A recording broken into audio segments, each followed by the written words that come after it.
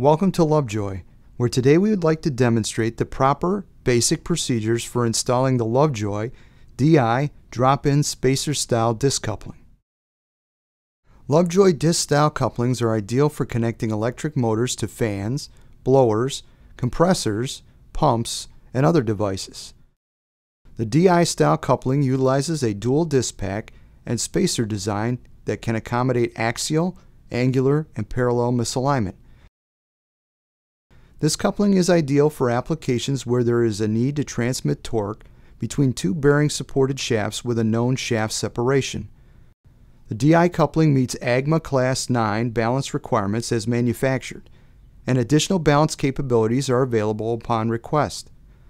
A drop-in spacer assembly consists of a spacer, two disc packs, and guard rings that are fully assembled at the factory.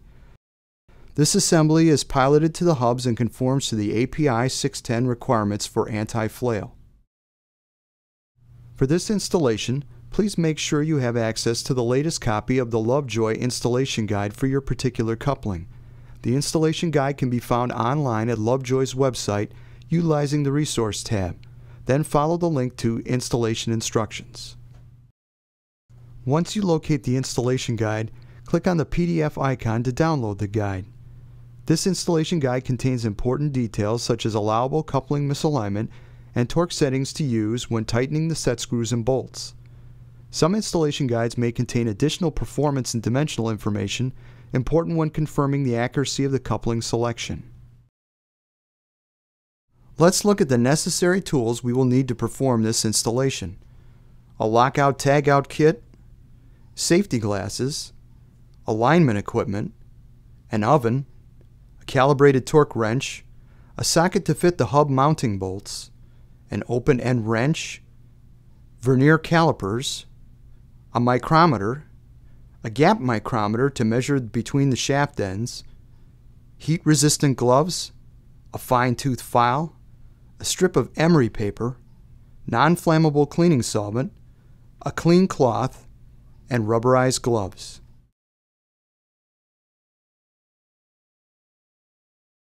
Prior to starting this installation, it is always important to ensure the equipment is in a safe and disabled state to prevent any accidental startup.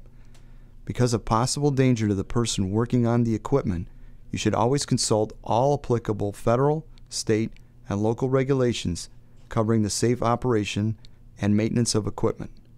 This includes, without limitation, the lockout tagout procedure defined by OSHA. The following components are provided with the purchase of your Lovejoy DI style disc coupling. You should have two DI style hubs, a DI drop-in spacer assembly, and hub mounting bolts to connect the hubs to the spacer assembly. Prior to installing this coupling, you should inspect each component to ensure there are no visible defects, cracks, or damage from shipping, and check the bore size for accuracy. By default, Lovejoy supplies disc coupling hubs with an interference fit, and you may notice the hubs are bored slightly smaller than the equipment shaft diameters.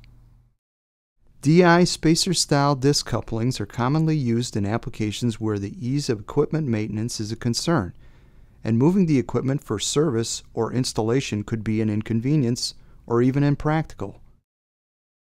Even though the equipment was not moved, it is always a good idea prior to installing the coupling to check shaft alignment using the preferred method of laser alignment.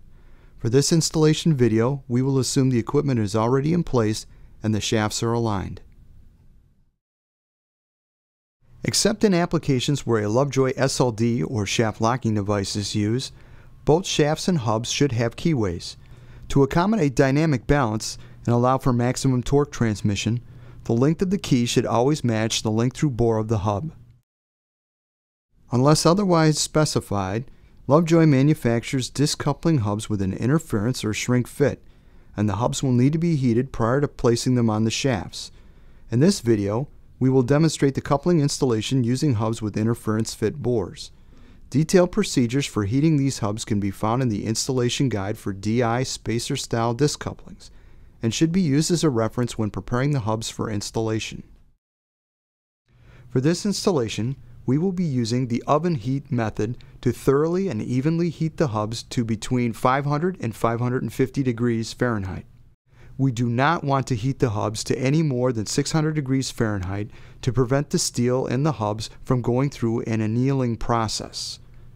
Heating the hubs to an excessive temperature could soften and damage the hubs. While we wait for the oven to preheat or come up to temperature, we can use our cloth and cleaning solvent to clean the surface of the hubs and remove any protective coatings used to protect the coupling during shipping. When the oven has reached the desired temperature, we will place the hubs on a rack, raised off the bottom of the oven to ensure more uniform heating of the hubs. We will need to allow enough time to ensure that the hubs are thoroughly heated to the desired temperature. The required time will be dependent on the type of oven and the size of hubs being heated. While the hubs are being heated to the recommended temperature, we will finish preparations for installing the coupling. Even though the power to this equipment was disconnected, it is always a good idea to double check that the power is off prior to physically performing this installation. It is important to inspect the shaft to clean off any nicks or burrs from the keyway or the shaft itself. A fine-tooth file can be used to clean burrs from the edge of the keyway or large dents in the shaft. A strip of emery paper can be used to clear the shaft of rust or any fretting corrosion. Finally, using our cloth and cleaning solvent, we need to ensure the surface of the shaft and keyway are clean and free of dirt. This would be a good time to measure the shaft and ensure the shaft diameter matches the coupling bore size. Place the keys in the shaft keyways, lining up the end of each key with the end of the shaft. The key should be completely seated and fit snugly in the keyway with no side-to-side -side movement.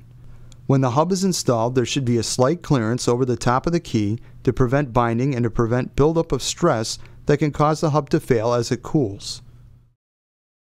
When the hubs reach the recommended temperature, the bores will be expanded enough to provide a few thousandths of clearance when sliding the hubs onto the shafts. Make sure each hub is oriented with the flanged end of the hubs facing the end of the shafts. The key should already be in place in the keyways and the hub should slide onto the shaft with little or no difficulty. Each hub will start cooling down right away and you will need to work quickly and accurately to position the hubs on the shafts. Once the hubs cool down, they could be quite difficult to reposition. When the hubs are in position, the flanged end of the hub should be in line with the end of the shaft and the end of the key. At this time, let the hubs cool to the ambient or room temperature before continuing. When installing a disc coupling where one or both hubs are to be secured on the shaft using an SLD or shaft locking device, locate the SLD on the recess machined into the exterior surface of the hub. Then slide the hub on the shaft to the desired location and tighten the SLD bolts using the procedures and tightening torque specified in the SLD installation guide. The SLD is a keyless alternative to a clamping style hub and allows for axial and rotational adjustments to be made after the coupling has been installed. When the SLD bolts are loosened, the coupling hub can be removed easily without deformation or damage to the hubs, shaft, or shaft locking device. Whether the hubs are being installed using the heat method for an interference fit or installed with a keyless shaft locking device, it won't affect how we perform the rest of the installation. For the purpose of this installation, we will continue the installation with the interference fit hubs that have been installed and have cooled to ambient or room temperature. Measure the length of the DI spacer assembly and record this length. Then measure the distance between the pilot faces of the hubs and compare this with the length of the spacer assembly. These dimensions should match or be very close, perhaps within a few thousandths of an inch. Since the equipment is already in position and aligned, we won't be able to move the equipment to install the spacer assembly.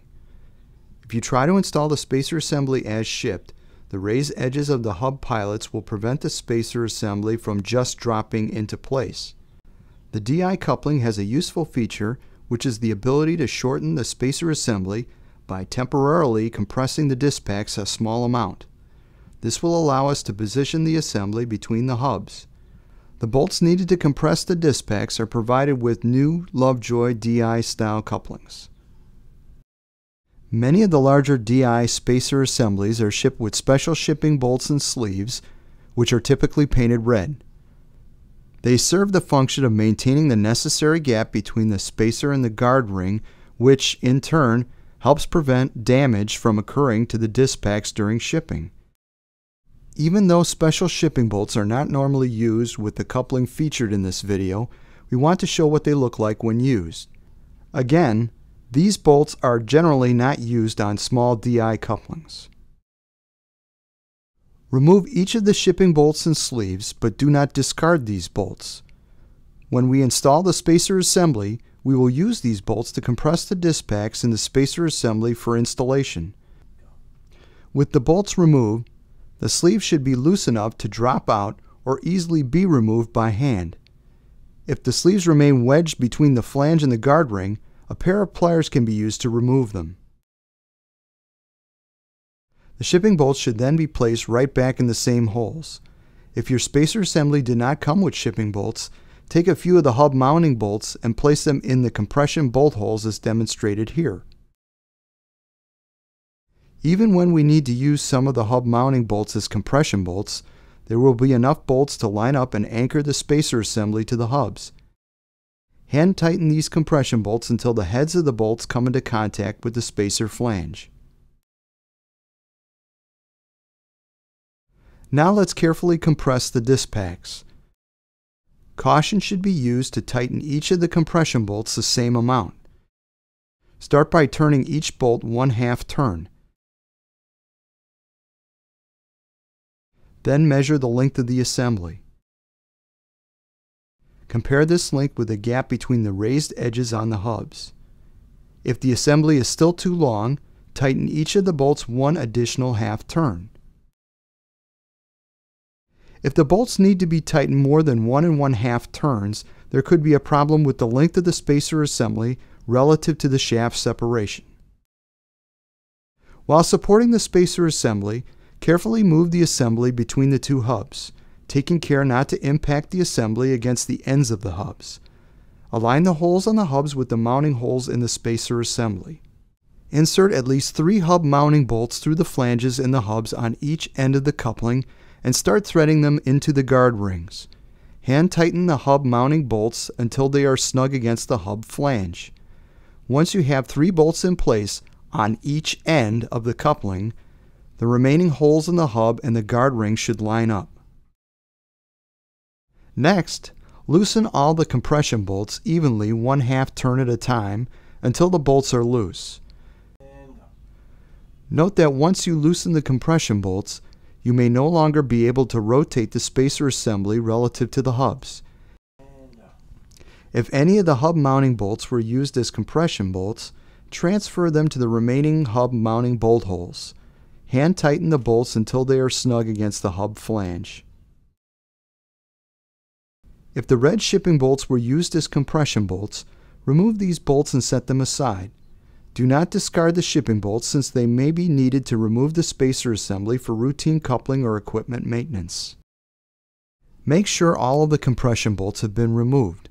Then double check to make sure there are bolts in all of the hub mounting holes. Tighten all of the mounting bolts on both ends of the coupling. Use a calibrated torque wrench and tighten these bolts in a star-shaped pattern, first to 50%, then 75%, then the full torque specified in the installation guide. The use of a calibrated torque wrench is important. If the bolts are not tightened to the specified torque, the bolts could work loose and cause a premature failure of the coupling. As a double check, there should not be any compression bolts in place when this coupling is placed in service. Finally, check the disc packs on each end of the spacer assembly. There should not be any visible distortion in either disc pack once the bolts have been tightened. If there is any waviness in the disc packs, the axial alignment of the equipment will need to be corrected prior to continuing. It is a good idea to recheck the angular and axial alignment before continuing. This check can be done using vernier calipers to measure the gap between the guard ring and the spacer flanges. If space permits, this measurement should be taken as close as possible to the edge of the hubs at four different locations around the coupling 3 o'clock, 6 o'clock, 9 o'clock, and 12 o'clock without rotating the coupling. All the measurements should fall within the PW high-low range specified in the installation guide. If any of the measurements fall outside the allowable range, you will need to realign the equipment to correct this condition. When the installation is complete and the equipment is aligned to meet specifications, remove any unnecessary tooling and material away from the shafting and coupling. Double check the tightness of the disc pack bolts with a calibrated torque wrench, then prepare for testing. Install the appropriate coupling guard per OSHA requirements and remove the lockout tagout kit from the power supply.